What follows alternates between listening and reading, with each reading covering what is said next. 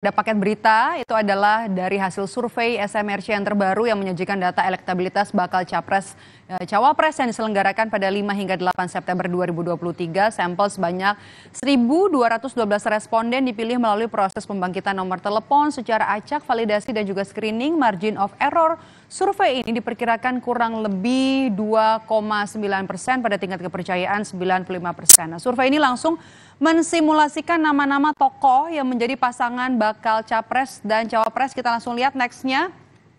Pasangan yang pertama yang disimulasikan yakni Ganjar Pranowo dan juga Ridwan Kamil. Duet pasangan ini, oke kita biarkan dulu kudanya membawa angkanya.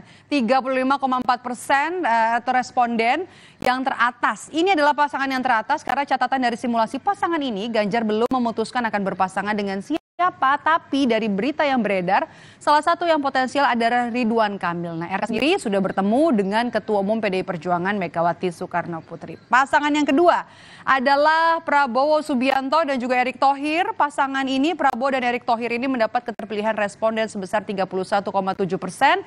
Nah, catatan untuk kedua untuk pasangan yang kedua ini adalah Erick Thohir jadi salah satu tokoh potensial yang menjadi pasangan Prabowo. Nah, Erick didukung sebagai bakal cawapres oleh PAN yang mendukung Prabowo. Prabowo. Nah, Erik sendiri sudah melakukan sosialisasi sejak jauh-jauh hari untuk menjadi bakal cawapres. Dan yang terakhir adalah pasangan Anies Baswedan Muhaimin Iskandar jadi satu-satunya pasangan yang sudah mendeklarasikan diri Anies Muhaimin mendapat keterpilihan responden 16,5 persen. Nah, ya kan 16,5 persen. Nah catatan dari SMRC ini untuk pasangan ini yakni penting untuk bisa melihat bagaimana publik Indonesia bereaksi pada keputusan yang menarik atau out of the box. Nah dan ternyata hasilnya belum cukup signifikan untuk bisa menyaingi simulasi pasangan Ganjar Ridwan Kamil maupun juga Prabowo Subianto.